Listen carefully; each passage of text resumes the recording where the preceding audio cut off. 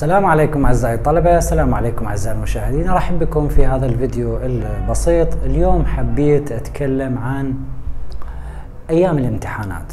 هاي أيام الامتحانات وطبعا هذا الفيديو يفيدك إذا تحب ترجع له حتى بامتحانات نصف السنة وبكل امتحان يكون شهري أو نصف السنة أو حتى اخير السنة يعني.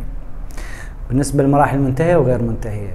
هذا الفيديو حبيت أتكلم به عن شلون انت يعني تتصرف شلون انت تنظم وقتك ترتيبك قعدتك أكلك شربك إلى آخره أيام وقت الامتحانات. فخليكم وياي وتابعوا هذا الفيديو. طبعا آه، كتبت أني الذكرى الجميلة. الذكرى الجميلة أكو ذكرى جميلة بعدين راح أقول عليها بآخر الفيديو بس تابعني للأخير. أول شيء النوم الجيد. النوم الجيد. انت لازم خلال هالفترة هاي فترة امتحانات تنام يعني آه، على الأقل خلينا نقول ست ساعات.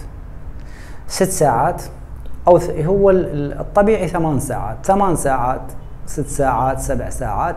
لازم جسمك يرتاح. لأن أنت هسه حاليا تحت الضغط. أنت ضاغط على نفسك آه، أهلك ضاغطين عليك آه، عندك امتحانات يريدون من عندك درجة نجاح يريدون من عندك نتيجة. فالنوم الجيد انت لازم تنام تنام تحاول تنام بدون قلق. بدون قلق. خليك relax على كيفك.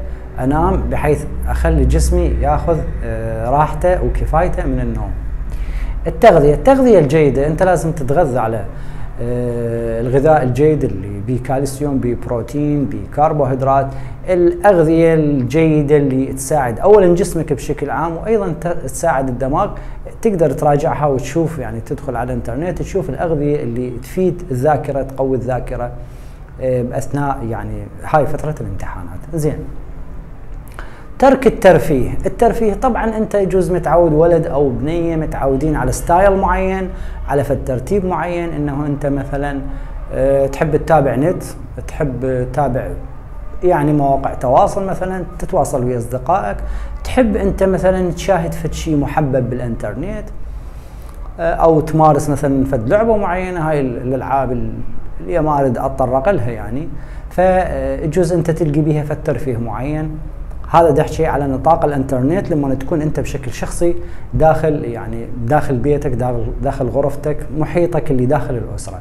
أكو أنواع من الترفيه أخرى خاصة الشباب مثلا يروح للجيم آه، يروح للكوفي آه، يطلع ويا اصدقائه يحب هذه حاول أنت هاي الأمور اللي أنت تعتبرها ترفيه طبعا واللي هي يعني ضمن الاطار ضمن الأمور يعني الإطار الأخلاقي. يعني ما أقول لا أخلاقي يعني ما لي علاقة به بس إحنا نحكي على طلابنا الطيبين الجيدين الخلوقين يعني.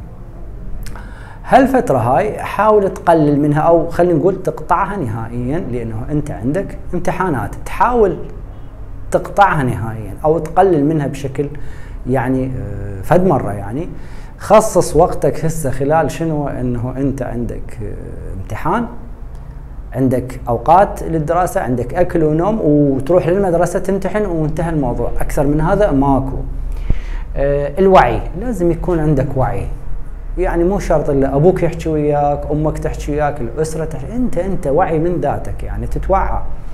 وتقول أنا مثلا لازم أهتم بشنو؟ لازم أهتم بمستقبلي. أفكر بمستقبلي. أه هسه أنا ما أقول لك على المدى البعيد اكو ناس راح تحكي وتقول مثلا وضع البلد وكذا وهذه وما بي مستقبل أنت اترك هالأمور. أنت ما تعرف الأمور شلون تتغير بالمستقبل. إحنا من كنا في وقتكم في فترة التسعينات فترة حصار اسألوا أهلكم على فترة الحصار شلون كانت فترة مرة وصعبة وكذا. هذه ورغم هذه إحنا يعني استمرينا استمرينا وراها صار فرج وكذا ووضع القصد يعني أنا ما أريد أتطرق لهالامور بس أنت حاول تفكر خليك هسه بالامتحانات إنه أنت تعبر مرحلة وبس. تعبر تنجح للمرحلة الثانية وهذه يعود بعدين. بس إذا عندك تفكير بعيد خلي تفكيرك أيضا للمستقبل إنه هذه آه اعتبر هاي السنة هي مثل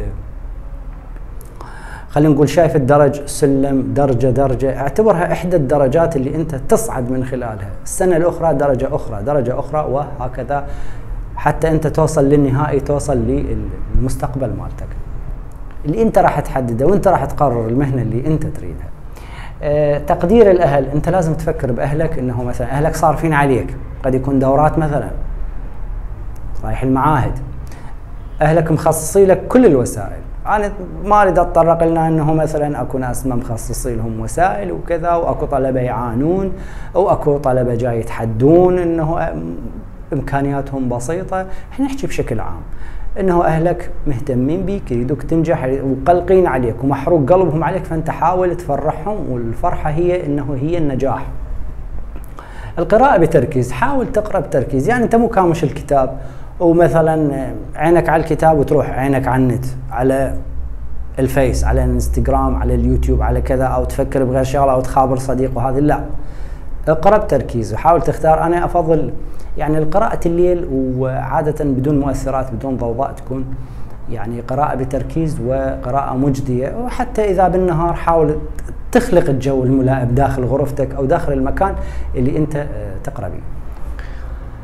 عدم الارتباك من تروح للامتحان تروح للامتحان حاول لا ترتبك خليك طبيعي وعدم الارتباك يجي من شنو يجي من القراءة المسبقة أنت قارئ سابقا ومسيطر فما راح ترتبك وراح تجاوب بشكل طبيعي أيضا عدم الارتباك يجي من شنو؟ ما ترتبك أنت لأنه أنت خلينا نقول متدرب على نمط من الأسئلة. أسئلة نمطية، أسئلة مثلا مال امتحانات، هسه موجود كل شيء، كل شيء موجود على الإنترنت عند أصدقائك تليجرام كذا هذه نماذج مال الاسئله تقدر تتدرب عليها وأيضا تقويك، فمن تتقوى عليها أنت ما راح ترتبك أثناء وقت الامتحان. عدم الضغط ما اضغط على نفسي، ما اضغط على نفسي بال بالقراءة. أكو نوبات نتيجة القلق نتيجة الخوف أنت تضغط على نفسك. أه، تضغط بشكل وهذا ينعكس على صحتك وينعكس على نفسيتك. بشكل سلبي. أه، الاستراحة أخذ استراحات. من تشوف نفسك تضوج من القراءة؟ لا أخذ استراحة. أقرأ ساعة؟ أخذ الاستراحة عشر دقائق كذا هذه. حتى لو حتى لو رحت فتحت إنترنت أو كذا هذه أو تشرب لك شاي تشرب قهوة أو يعني ترتاح شوية كذا هذه. تطلع برا شوية مثلا فت خمس عشر دقائق تروح للمحل تجي كذا عادي. أوكي بس ترجع تقرأ. بالك وين يم القراءه هي مجرد استراحة. استراحة تكون لجسمك استراحة تكون لدماغك حتى يرتاح. ما يصير أنت فوقه فوقه. لأن نفسيا تتعب ودماغك يتعب وجسمك يتعب. فلازم تاخذ فترات فترات استراحة.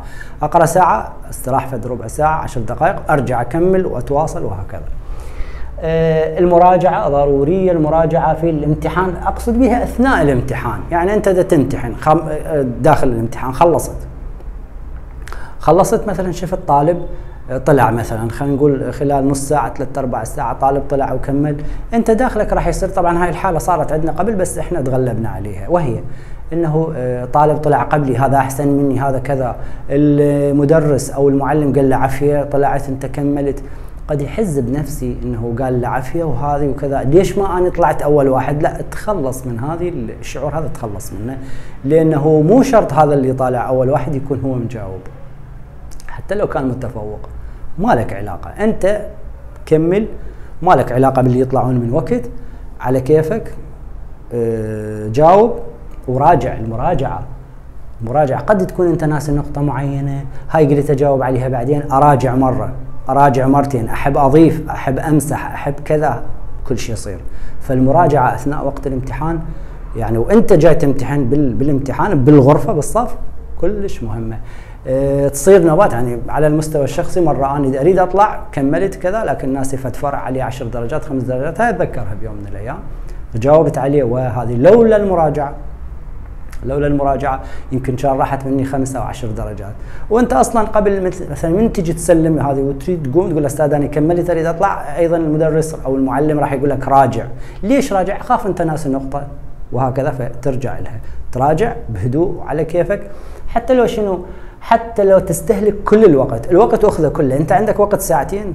ساعتين ونص ساعتين ساعة ونص. حتى لو أبقى آخر واحد. أبقى آخر واحد. داخل قاعة الامتحان. المهم اني مجاوب ومسيطر وناطي الدفتر وأني نفسيا مرتاح. لأن نوبات أنت إذا تطلع إذا أنت تطلع مثلا ونسيت فد فرع أو هناك تذكرته نوبات يعطون نسخة الأسئلة نسخة الأسئلة المطبوعة أنت ماخذها وياك وبعدين تراجع بالبيت أو فلان نقطة أنا نسيتها ليش ما جاوبت؟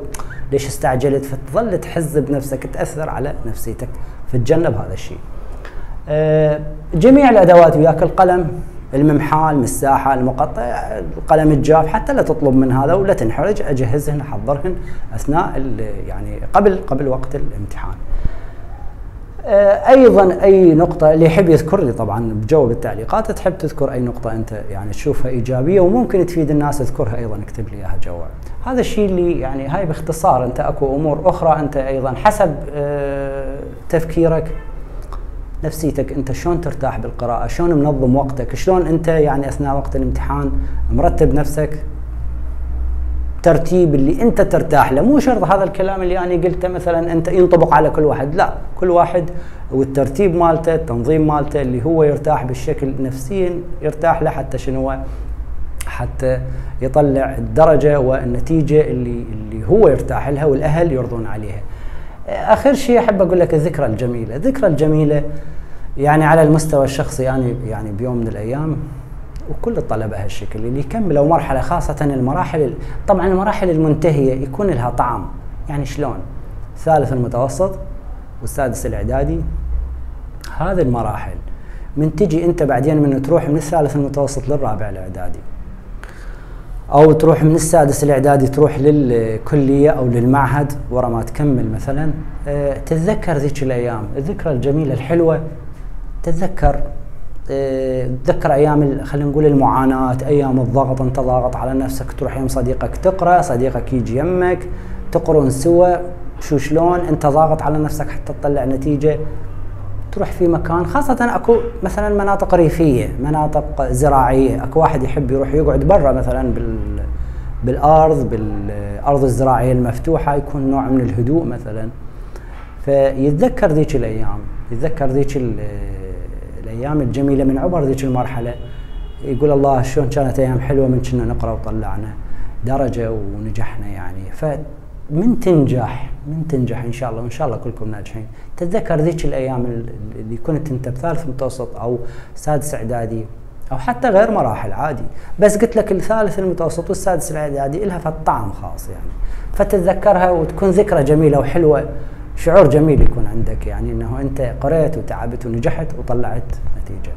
أعزائي أتمنى استفاديتوا من الفيديو ألتقيكم في فيديوهات قادمة وأتمنى لكم من كل قلب النجاح. تقبلوا تحياتي والى اللقاء